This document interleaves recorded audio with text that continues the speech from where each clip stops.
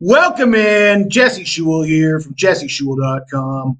Thursday, May the 9th, we're talking the NBA playoffs.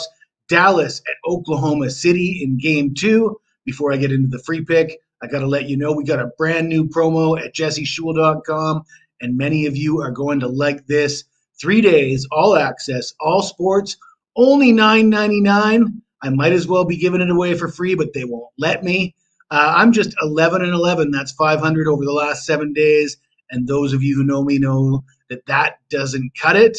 Uh, 500 the last week is not what we're looking to do. We normally look for 60 to 70% winners over any uh, stretch of time.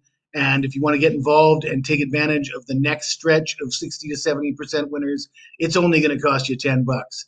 Let's talk the uh, Dallas Mavericks at the Oklahoma City Thunder, game two.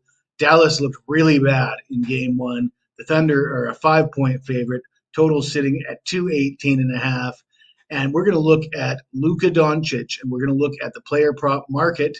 Luka has been hurt. He's been playing on a bum knee. His numbers are down, but his PRA for tonight remains fairly high, sitting at 50 and a half.